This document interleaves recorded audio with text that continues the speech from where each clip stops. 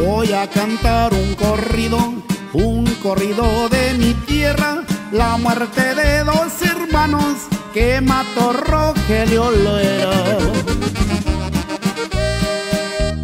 Año del 61 que todos recordarán que a los hermanos Gutiérrez Rogelio dio su final.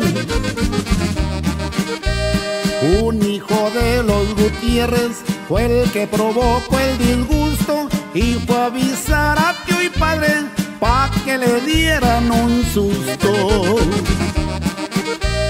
Venía Roberto y José, ya le venían disparando, cinco balazos le dieron en el cuerpo y en las manos. Rogelio se vio obligado, enemigos serán dos. Hizo su defensa propia con su escuadra 32.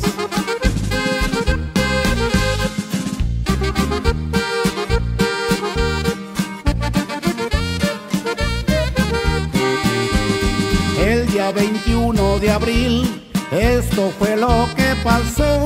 Rogelio muy mal herido,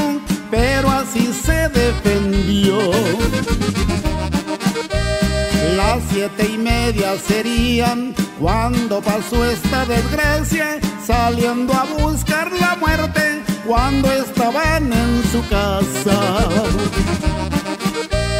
José y Roberto creyeron que todo el rancho era de ellos, pero ahí estaba Rogelio que nunca les tuvo miedo. En esa hacienda de Yescas se componía de dos bandos que los garrientos de arriba, disque rico los de abajo. Rogelio arrancó el panal y abejas no hay por ahí.